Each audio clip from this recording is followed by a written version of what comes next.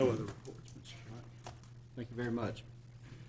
All right, we'll now move into our citizens to be heard portion. Um, Ladies and gentlemen, to kind of lay the ground rules, as most everyone knows, um, I'll call you up. You have to have your citizen to be heard form filled out. I have to have it in hand at this time to be heard. You'll be allowed five minutes, and um, we'll welcome each and all. First one that I have here is Mr. George Rhynes. Please come forward, state your name and address.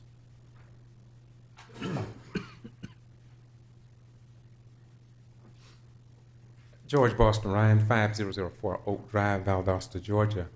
I just want to, I come to thank you all, uh, mainly, uh, Mr. Chair, for uh, a young lady that works the library uh, came to me on an, about an issue dealing with the employees. And uh, since I've been in the city, that was the first thank you card or note that uh, I had received from the chair or the Lowndes County. So I just want to commend you on that, and I think that open government is where it's at.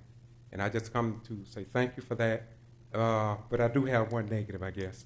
But it's not a negative as it is an informational request on behalf of all citizens. Lowndes County and Valdosta are leading the state of Georgia in jail deaths. We have had 31 jail deaths from 1994 to 2009. About 11 of those were committed by suicide. From 1994 to present, we don't know how many jail deaths have occurred out there, but we do know that we are leading the state of Georgia, and it's been published in the Atlanta Journal of Constitution and other newspapers. My request today is, and I wanted in the minutes, that the citizens of Valdosta and Lowndes County should have a right to know how many deaths we've had in that jail. I understand I've contacted Atlanta several times. Mr. Rhynes? Yes. I'm sorry, I'm gonna have to interrupt you. Yes. That's not what you have on your list for citizens to be heard. If you'd like to come another day and address that issue, then we'll be more than glad to listen to you. I thank you very much for what you've done, and I, I will remember that next time.